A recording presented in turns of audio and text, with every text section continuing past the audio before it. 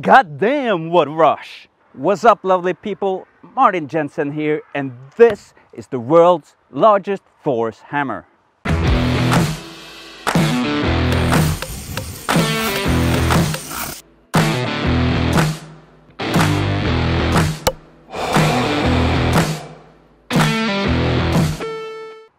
As I was uh, riding the Cosmos, I spotted this huge hammer and just zap myself down here to Norway Nesodden.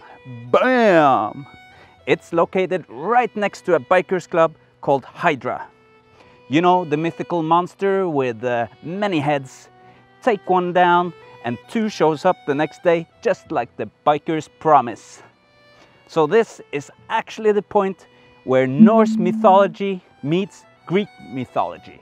I just love it.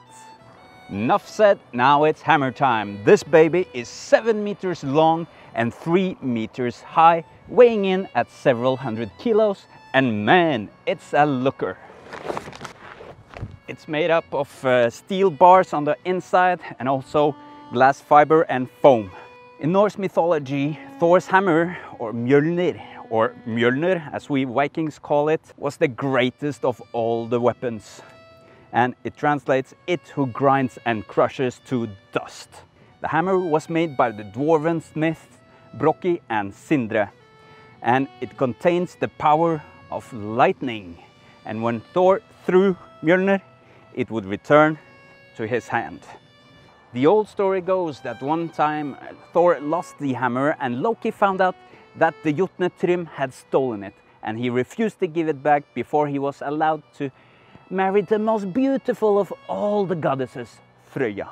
And what happens next is that Thor dresses up as Freyja with two rocks for and Loki dresses as his wedding maid.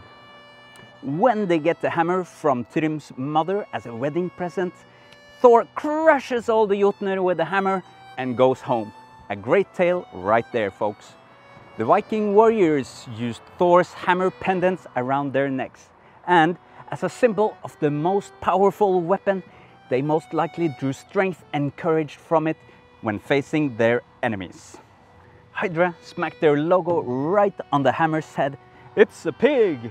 And a story for another day. On the shaft, in runes, it says Ragnarok is coming. Hmm.